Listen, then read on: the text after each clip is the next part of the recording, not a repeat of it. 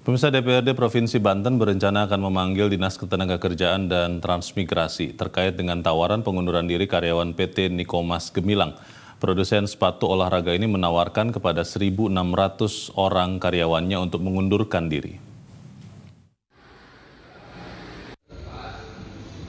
Ketua Komisi 5 DPRD Provinsi Banten Yeremia Mendrova berencana akan melakukan pemanggilan terhadap Kepala Dinas Tenaga Kerja dan Transmigrasi di Snaker Trans Provinsi Banten guna membahas tawaran perusahaan sepatu di PT Nikomas Gemilan kepada 1.600 karyawannya untuk mengundurkan diri.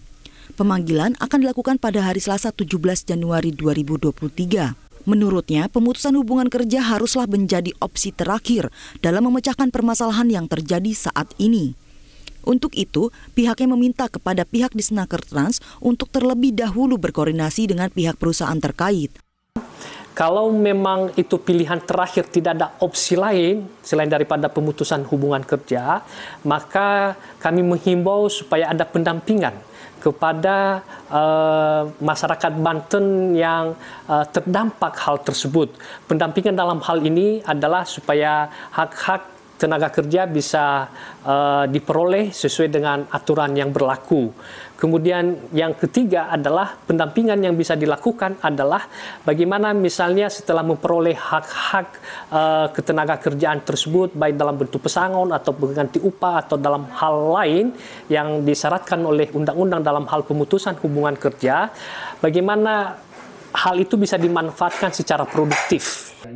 Ketua DPD Federasi SPSI Banten Arif Johan meminta kepada pemerintah untuk turut mengawal proses pemutusan hubungan kerja dan memastikan bahwa karyawan yang diminta mengundurkan diri mendapatkan haknya. Oleh karenanya pemerintah harus turut serta mengawal proses tersebut dan memastikan hak-haknya sesuai dengan undang-undang. Kalau perlu ditambah agar lebih tinggi dari normatif sehingga cukup untuk persiapan pasca tidak bekerjanya kawan-kawan yang melakukan pengunduran diri secara sukarela.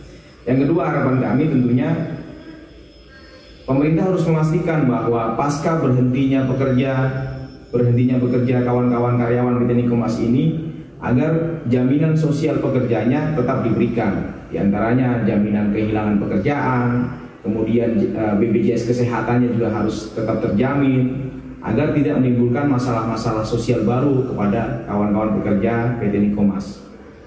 Sebelumnya, produsen sepatu olahraga yang berlokasi di Serang, Banten, PT Nikomas Gemilan, membuka penawaran bagi 1.600 karyawannya untuk mengajukan pengunduran diri secara sukarela. Hal ini berpotensi menambah juga karyawan yang kehilangan pekerjaan. Berdasarkan data Kementerian Ketenagakerjaan menunjukkan selama Januari hingga Oktober 2022, jumlah korban PHK telah mencapai 11.626 orang dan 31,85 persen dari Provinsi Banten. Dari Serang, Banten, Wibowo Sangkala, Media Group Network.